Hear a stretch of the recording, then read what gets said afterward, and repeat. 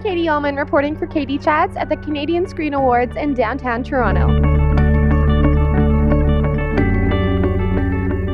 I am here with Chris Gailus. How does it feel to be holding these two amazing Canadian Screen Awards right now? It feels heavy. These things are heavier. I'm sure everybody says that, but uh, really proud more than anything. It's uh, it's great to be here representing the station and to know that uh, I'm part of an incredible team that uh, that that does great journalism, and, and I'm really proud of that.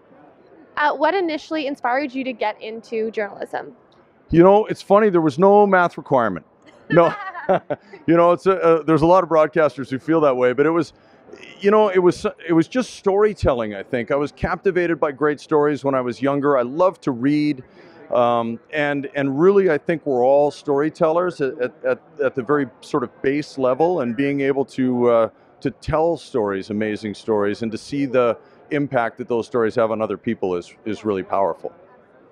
And what are you going to do with these awards? Are they going to be arm weights or what? Well, I don't. Yeah, I could do some curls. yeah. Maybe I could, and I could use some.